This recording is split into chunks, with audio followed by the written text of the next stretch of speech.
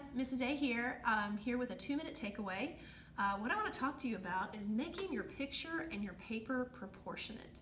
So what I've done first is I've taken my color copy, can be black and white or color, doesn't matter, um, and I've cut away all the white edges so that I'm working only with my image.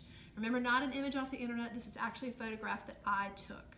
So you can kind of see already, if I move this over, that my newsprint here is a different shape than my picture. And I need to make them the same. So what I'm gonna do first is take, well I've got two pieces here, I don't need two pieces, get that out of the way.